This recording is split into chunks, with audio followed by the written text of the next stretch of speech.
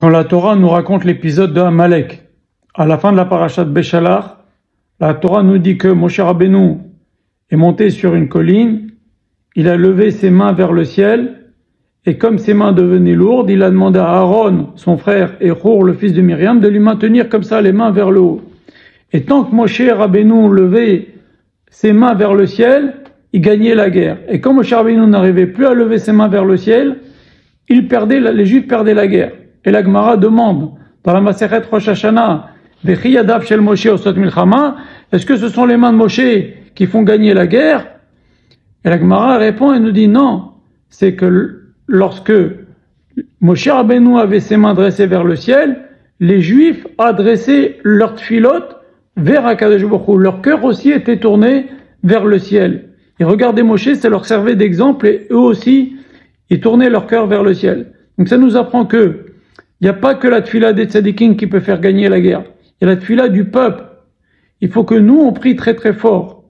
Et c'est grâce à ça qu'on a gagné cette guerre contre Amalek, qui était d'ailleurs une guerre très très très difficile.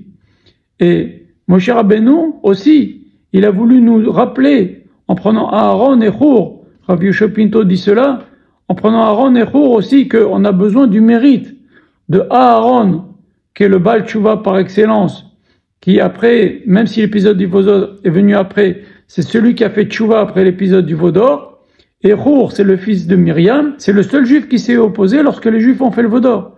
Donc la force de la Torah de Moshe, la force de la tchouva d'Aaron, la force de la Messirut Nefesh de, de, le fils de Myriam qui s'est opposé au Vaudor, plus la force de la Tfila de tous les venus Israël qui tournaient leur cœur vers Akadosh Baruch c'est tout ça qui a fait gagner la guerre. Donc, il faut maintenant, Bezrat Hashem, qu'on se renforce dans la tfila, jour et nuit, dès qu'on peut, dès qu'on a un moment de libre, on doit prier. Ils sont en train sur le front de se battre, il faut que nous on fasse ce qu'on doit faire. Ce que nous on peut faire, ce qui est à notre portée, c'est prier. On doit prier au maximum. Comme à l'époque de Moshe Rabbeinu. Et ça, c'est une grande leçon pour nous. Un, les tfilotes, c'est pas seulement les tfilotes des tzadikim qui comptent. Selon cette Mishnah de Maseret Rosh Hashanah, c'est la tfila du peuple aussi qui compte. C'est à nous de lever notre cœur vers Akadosh Baruch en ce temps de guerre.